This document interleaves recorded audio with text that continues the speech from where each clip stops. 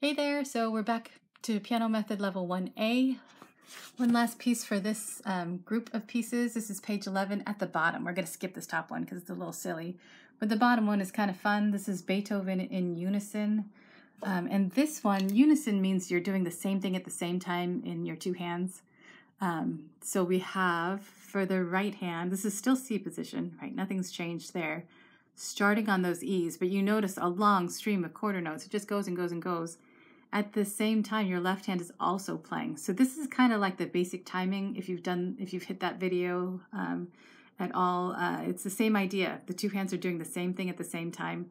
No resting in either hand. So it's a little little tricky that way. So let's do just right hand. Um, we've been talking about seconds thirds fourths fifths and repeated notes.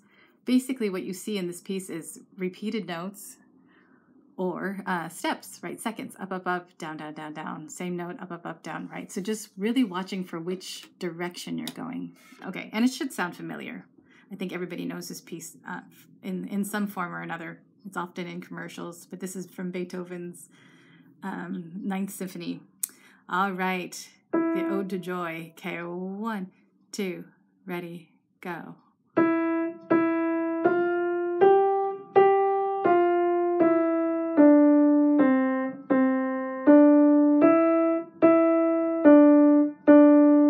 First line.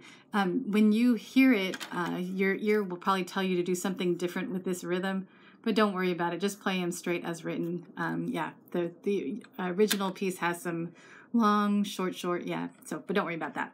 Um, and then in the last line, similarly, right, just reading ups and downs.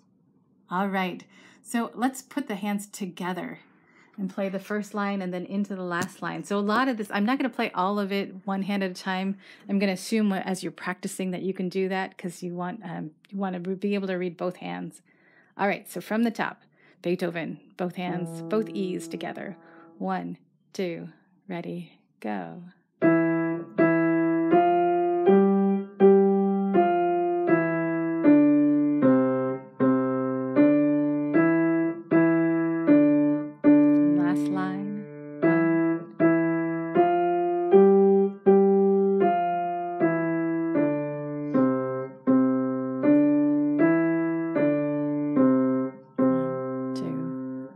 Right, that's it.